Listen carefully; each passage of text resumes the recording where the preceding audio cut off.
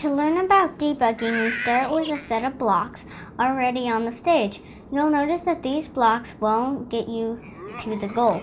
We need to debug the solution and fix it.